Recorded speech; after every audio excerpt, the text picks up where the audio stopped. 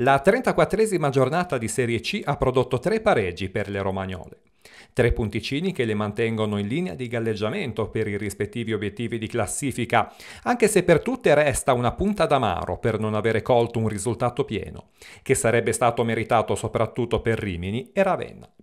Giallorossi che al cospetto della capolista Pordenone non hanno tremato, anzi, per primi hanno cercato la via del gol, col cross di Selleri per Nocciolini, colpo di testa vincente ma viziato da un netto offside. Rete annullata dunque, mentre i ramarrici provano soprattutto nella ripresa e sfiorano il vantaggio al 76esimo con la traversa colta da Magnanchi. La replica dei bizantini arriva 5 minuti più tardi, quando l'arbitro Marchetti punisce con un rigore la trattenuta di De Agostini su Martorelli. Dal dischetto Galluppini coglie la traversa ed è così 0-0 al Benelli.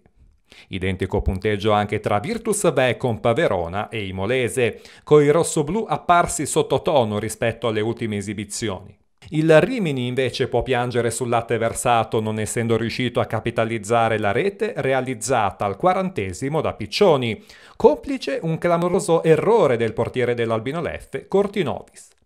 Nella ripresa però i padroni di casa cambiano marcia e trovano il pareggio con Cuco.